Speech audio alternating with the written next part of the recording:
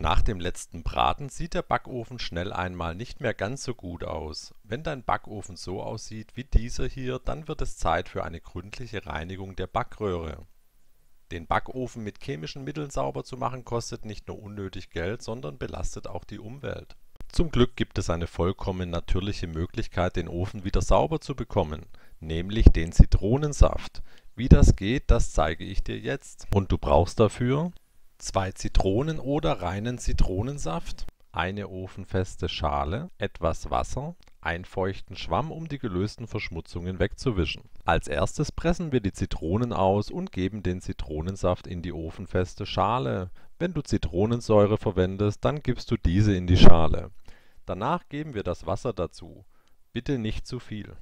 Danach stellen wir die Schale in den Ofen am besten auf ein Backofengitter, damit sich der Wasserdampf mit der Zitronensäure gut im ganzen Ofen verteilen kann. Wenn der Ofen so stark verschmutzt ist wie in diesem Fall, dann verteile ich gern etwas vom Zitronensaft direkt auf den besonders stark verschmutzten Stellen. Stelle den Backofen auf 120 Grad und wähle Umluft. Dann lassen wir das Ganze arbeiten, bis das Wasser verdampft ist.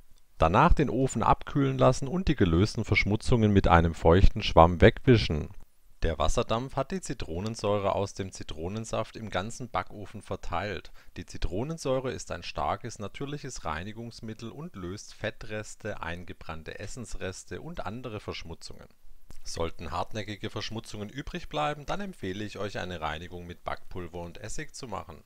Den Link zum Video findet ihr in der Videobeschreibung der Vorteil von Zitronensaft bzw. Zitronensäure gegenüber Backpulver, Natron oder Essig ist der angenehme Geruch nach der Reinigung, denn unangenehme Gerüche im Backofen sind danach auch verschwunden. Es riecht angenehm nach Zitrone. Ich hoffe, euch hat das Video gefallen. Wenn ja, würde ich mich sehr über einen Daumen nach oben freuen. Hier könnt ihr meinen Kanal kostenlos abonnieren. Mit einem Klick auf die kleine Glocke werdet ihr übrigens immer benachrichtigt, wenn es ein neues Video von mir gibt. Bis dann, euer Alex.